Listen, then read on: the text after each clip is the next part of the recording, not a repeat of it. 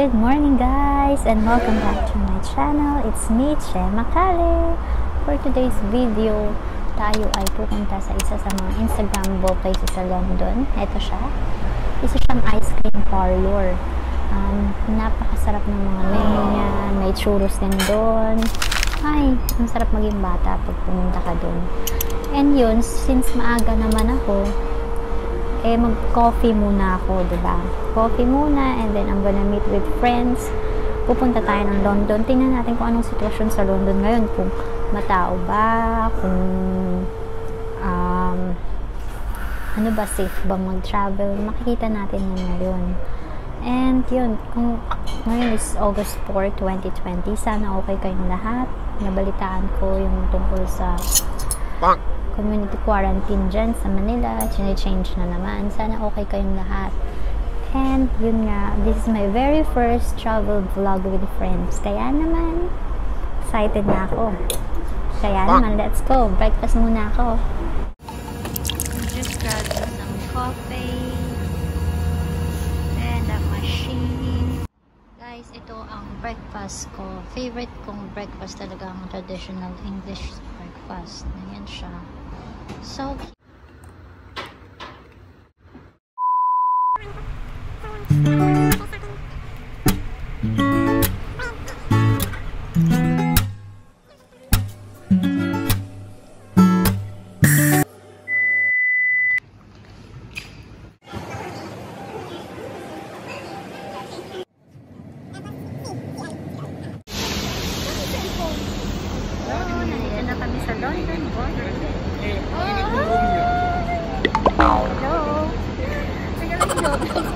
Ipapakita, be.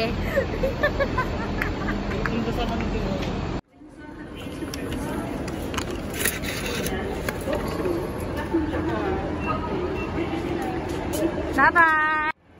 So, ayan. Nandito na kami sa London Waterloo. May perde Kaya mga kasama. Say hello. Ay, nasa Jugod. Ay! Vlog to, vlog.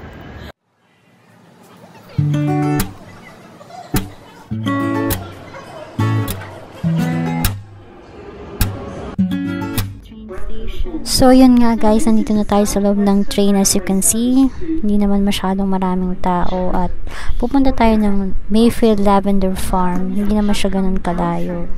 So, may social distancing naman dito at laging magwe-wear ng mask. Ayan. Time check na is 12 12.22. We're going to Mayfield Lavender Farm. So makakita tayo ng maraming lavender. Yay! Bibili tayo. Ay, Aura kami doon. Anong bibili? Anong bibili ko? May, may, may mga oils, may sabon. Gusto mo makita yan, be?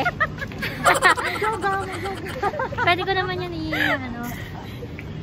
So nasan tayo ngayon? Nasa Soton. And then we're going to ride an Uber. Which is ilang Yes. minutes lang. Ilang minutes lang? Um, 7 to 10. 7 to 10 minutes.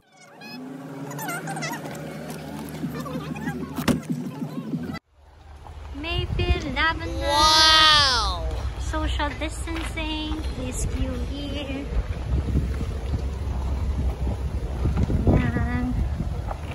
Welcome. Adult 4 pounds, children 3. I just paid my ticket. It's 4 pounds on my toilet there.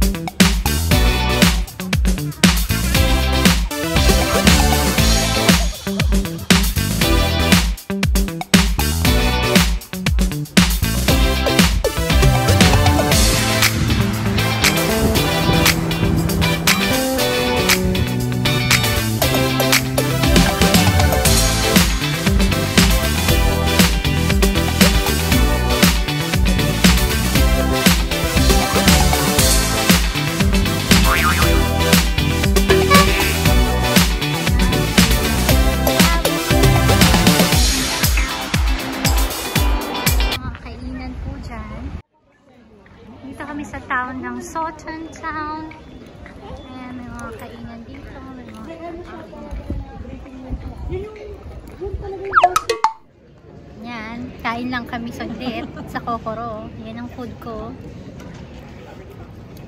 Tapos may pupuntahan kaming next na Instagrammable place. Ang tawag doon is The The Nut The Nut Churros. Churros um, Kensington Place. Kensington something sa London. South Kensington. South Kensington. Yun. Malalaman natin kung Instagrammable ba talaga siya. Kain lang kami saglit. Bye-bye! Okay, we're here in the underground station. It looks like Mind the gap between the train and the platform. This is Sloane Square. Stone Square.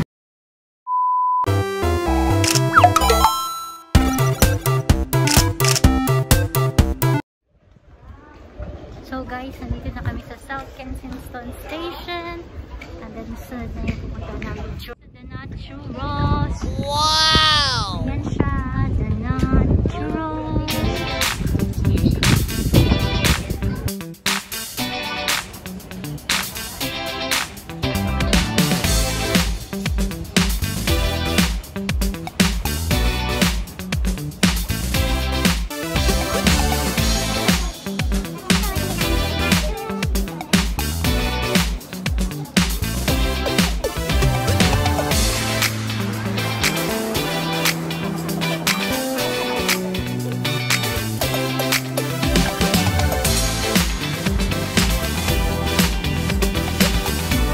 Hello guys! Sa wakas, nandito na kami sa Churros! Yay! Woohoo! Ganda!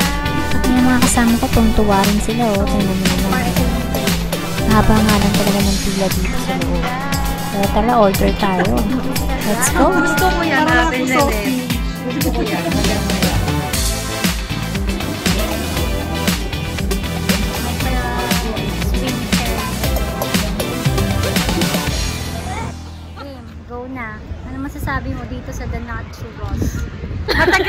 Magluto. Hindi sila Ang magaling. Hindi sila mabilis Wala pala. silang parang ready-made na churros mix. Tapos parang Tapos, doon pa lang nila ipe-prep. Alam naman nilang dadayuin sila, di ba? Yeah, they should expect something from the people. They should pre- So, I think, I think they're just, ano, gusto nila mainit, kaya yeah. kinukok pa lang They nila. want it to be Mabilis fresh. naman magluto ng churros. Yeah, you'll just Kanya have ko to... ibababa ko, be.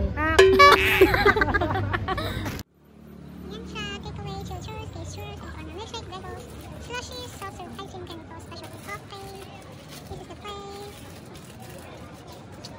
Guys, so ngayon, nandito naman kami sa Piccadilly. So guys, hello, hello.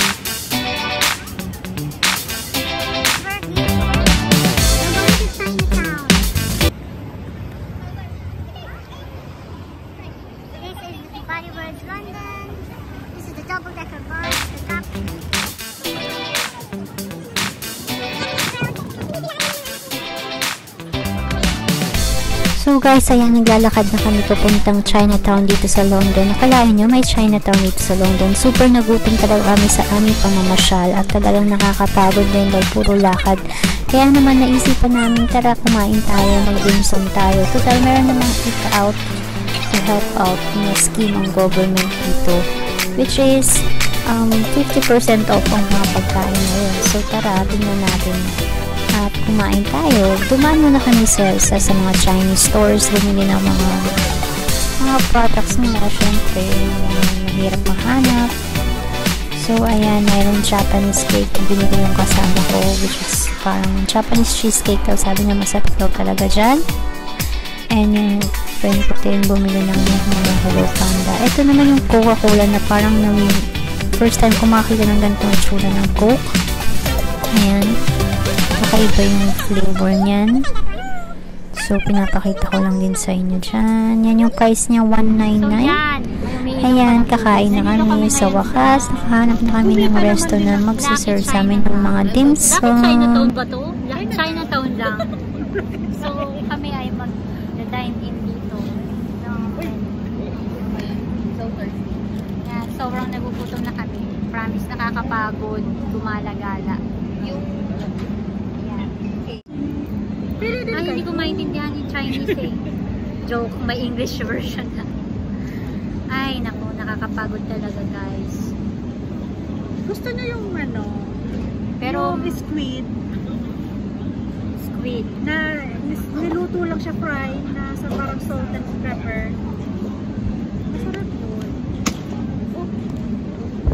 Isa yun. Pinipigyan mo na ng food. Grabe guys, nakakapagod.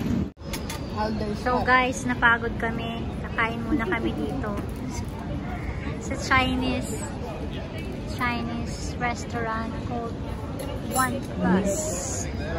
Thank you. That one. So, nag-order kami ng mga dim sum. Dim sum. This is, ano to? Pork bun, shrimp shomai, dumplings, I think. Uwian na guys, finally! Sana naging masaya kayo sa lakad natin today and see you on my next vlog. Bye-bye!